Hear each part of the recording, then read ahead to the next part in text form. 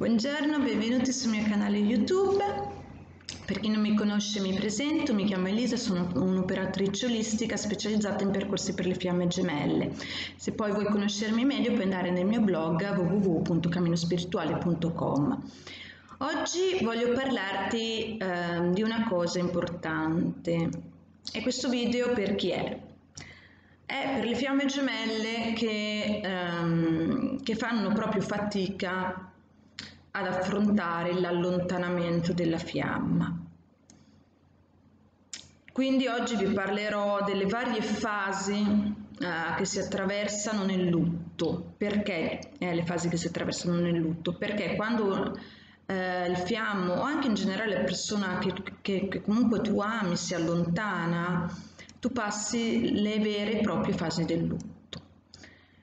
Queste fasi quali sono? La fase della negazione, quindi non riesci eh, non solo ad accettare ma nemmeno a prendere in considerazione che il fiammo eh, se, se, ne sia andato e ti risulta proprio impossibile credere eh, che non farà più parte della tua esistenza e quindi che cosa accade? Eh, che non riesci neanche a concepire questo nuovo stato come facente parte della tua realtà. E quindi che cosa succede? Che ti, che ti rifugi nella quinta dimensione dove lui è presente. E ti rifugi lì perché neghi il fatto che lui ora si sia allontanato. E sei in uno stato di, uh, di torpore, di straniamento, lontani il pensiero, alzi un muro di difesa per prendere tempo perché per te è ancora tutto troppo grande. La seconda fase è la rabbia, quindi una volta che hai preso atto di questo allontanamento e ti sei aperta al dolore, vivi quanto è accaduto come una profonda ingiustizia. Ingiustizia per lui che se n'è andato, per, uh, per la tua vita che quindi adesso cambia e per i progetti che non puoi realizzare adesso e quindi devi fare i conti comunque con la sua assenza in terza dimensione. Quindi questa rabbia poi deve potersi riversare su qualcuno, sfogarsi. E allora non è raro che si cerca proprio una sorta di capro espiatorio, qualcuno da accusare che ha lasciato che questo accadesse. Questa cosa spesso capita ehm, accusando magari le forze oscure, oppure eh, accusando la moglie, accusando i figli, accusando la fidanzata, accusando sempre qualcun altro, oppure proprio accusando lui perché ha i blocchi, perché ha paura e così via. Quindi eh, questa rabbia o, o, si riversa su di lui, o si riversa sulle forze oscure, o si riversa sulla fidanzata, moglie, figli, famiglia suoi.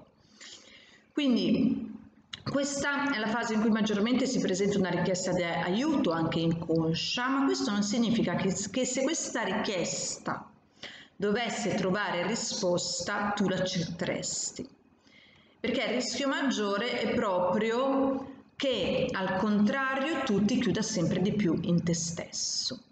E questo può avere due risvolti, ovvero ehm, un risvolto che è positivo, nel senso che se tu entri in te stesso, ti analizzi, eh, prendi una nuova consapevolezza, sciogli quello, eh, che, eh, quello che ti provoca il dolore, Ehm, che in realtà non è solo un allontanamento, ma può essere una ferita atavica che hai dentro di te che genera questo immenso dolore, come la ferita dell'abbandono, del rifiuto, dell'ingiustizia o così via.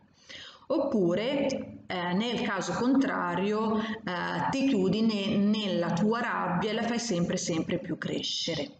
Poi la terza fase è quella della contrattazione, ovvero che cominci ad accettare comunque quello che è accaduto, lo vivi come un'ingiustizia, sì, ma pensi anche ehm, che non puoi fare altro che prenderne atto e cominciare ad andare avanti, quindi prendi in mano la tua vita, alterni momenti di abbandono che sconfinano con la depressione a momenti di speranza. Anche se ti chiedi quale quali, pro, eh, quali progetti tu ora possa fare nella tua vita, perché? Perché pensi di aver perso il tuo progetto della missione, quindi che cosa accade in questo caso? Che si ricomincia da capo. Si, ehm, si ricomincia dalla negazione, rabbia, contrattazione, perché? Perché scatta un'altra un altro, è come se avessi un, una sorta di altro abbandono della tua missione. E quindi questa è ancora la parte più difficile in realtà per, uh, per le fiamme gemelle. Poi la quarta fase è quella della depressione, quindi arrivato a questo punto sarai investito da un'autentica e quasi improvvisa presa di coscienza della tua perdita e ti soffermerai su tutto quello che non potrai più avere, su quello che non potrai più condividere col fiammo o con la fiamma. Questa è la fase della disperazione più acuta, della depressione vera e propria e sarai colto da mal di testa, perdita, aumento del peso corporeo, incapacità di concentrarti o provare gioia, irritabilità, insonnia o sonno troppo frequente, frustrazione, rabbia, perenne tristezza e volontà di staccarsi e allontanarsi dagli altri. E la depressione eh, è molto è molto probabile che si, che si risolva da sé attraverso la sua elaborazione e il suo superamento, però se questa cosa non accade entro i sei mesi, un anno, fatti aiutare, mi raccomando, perché la depressione è comunque una cosa seria. La quinta e ultima fase è quella dell'accettazione, quindi mh, mm, anche se si possono ancora affacciare nella mente stati, motivi di, uh, di rabbia o depressione, anche se questa depressione è comunque eh, in un livello emotivo molto minore rispetto alla fase precedente, adesso sei pronto a dare un senso a quanto è successo e scriverlo nell'ordine naturale delle cose e ad accettare il fatto che adesso la fiamma si è allontanata e ad andare avanti comunque con la tua vita. Ok, quindi queste sono le fasi um, che si attraversano quando la fiamma si allontana da te. Sono fasi che devono essere attraversate tutte per arrivare appunto alla fase finale dell'accettazione, una fase che è veramente molto molto importante. Quindi come gestire l'allontanamento passandosi tutte queste cinque fasi ehm, con la consapevolezza che è un cammino di crescita, un cammino di evoluzione che nessuno ti sta punendo, non è una punizione divina, non è Dio che ti ha separato, non sono le forze oscure che vi hanno separato, non è la moglie, non è il figlio. Accettazione semplicemente di quello che è accaduto per poter andare avanti. Ok, io con questo non ti sto dicendo guarda che è andato via e poi non tornerà mai più, assolutamente no però bisogna compiere tutti questi passaggi perché in tutti questi passaggi c'è la tua crescita.